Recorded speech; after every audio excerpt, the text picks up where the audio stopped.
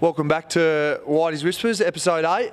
Um, the bye and a week off last week. Uh, the club was inundated with uh, with phone calls asking where Whitey's Whispers had gone. Uh, we're back on track, um, and I've gone for the highlight reel himself, Ben Saunders. Welcome, Ben. Thanks, Craig. I'd just like to start by saying I'm a long time listener. This is the first time I've been on the show. Thanks, mate. Obviously, mate. Uh, first of all, I must touch on your baby face. Um, you've been running uh, the comp with Higo, uh, the beard and the hair. Who got the chocolates and who's won?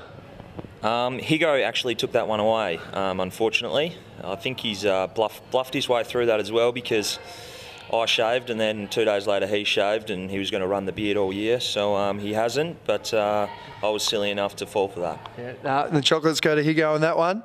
Um, mate, we had the bye on the weekend. Uh, you obviously like to get out and do a bit of outdoor activities. Uh, what did you get up to on your weekend off? Uh, drop a line in anywhere? Yes, mate, guilty. I did drop a line uh, on the weekend. I went up to Leeman, went fishing, crayfish fishing, um, and was quite successful, thank you. And what was the catch of the weekend? Um, a 12 kilo jewfish. Very good, mate. Very good. Mate, you've got a few talents. Um, obviously, footy, taking screamers, kicking goals. Um, but the one that most people won't know um, is your your hidden talent that you and Gumby have got, and you're releasing a, uh, a new single um, coming out. Can you tell us what's going on there? And I know a local Freo producer is going to be producing it. Can you lead, lead us on what's going on there? Um, I can't fully give you details of that. Like that's me and Paul started that um, probably when I first come to the club. Just at a function, we just worked out that we both had um, a connection and sort of a talent, and we just sort of we, we went into the underground scene a little bit, and we went down to Freo rap battles. Um, we spat a bit, and you know we worked out pretty well. Um, then April last year, I think it was, we dropped a mixtape. Uh, there was four songs on there, pretty good. You should check it out. Um, it's on Gumby's uh, YouTube feed, which is Paul McGumb. What you gonna do?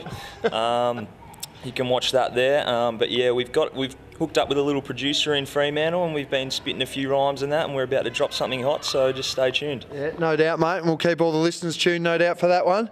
Um, and mate, I always do a little bit of research. Um, I got in touch with your good mate Darcy um, who's fresh off the back page of the uh, weekend's paper um, and he's given me um, a little bit of in hindsight of what might have gone on back in your Mount Barker days. He tells me you hold the record for the most consumed ch- crumbed chicken and cheese sausages at the Mount Barker BP. Is this true? Um, look, I'd just like to shout out to Dumbbell Das for that. Um, yep, West End Plumbing. Um, that's what he was on the paper for. Uh, if you've got any plumbing needs, his uh, slogan is even if you've eaten a curry, we'll fix your toilet in a hurry. Um, so hit him up if you need anything. Secondly, I cannot confirm nor deny whether I've eaten 12 crumb chicken and cheese sausages in one sitting. Unfortunately, Mount Barker BP no longer exists. Rest in peace. Um, it's now a peak or something, so my record's off the wall. If I had a record, um, so that's a confirm, I believe. Uh, cannot, cannot. Definitely confirm, mate. Um, our first function last week, the reverse raffle, gave a chance for the uh, for all the new recruits and the first year players to stand up and show what they're made of uh, off field.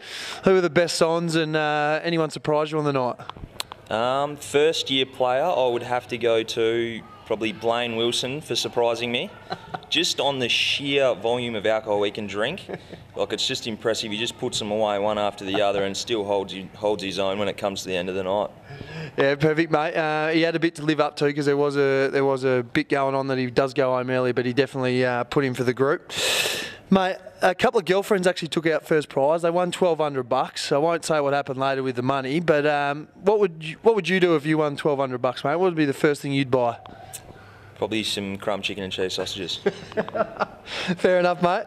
And lastly, um, you're in the initial uh, the state squad to play next weekend versus South Australia. Um, no doubt you'll be looking for the boys to give you a few cheap ones this weekend, and hopefully we can get the win against Peel, and uh, hopefully you can play again next week for your state. Yeah, well, well, that's the goal, mate. Uh, hopefully, uh, we get the chockies to start with against Peel, and hopefully we can take away the win. But if uh, a couple happen to fall into my lap, I will take them, um, and hopefully get a bit of bit of run into next week if, if I'm good to go. A bit like those uh, crumb chicken and cheese sausages falling into your lap, mate. Uh, well, mate, thanks for playing the character today, mate, and uh, all the best. And uh, hopefully the boys can get the win against Peel. And as always, go the Bulldogs.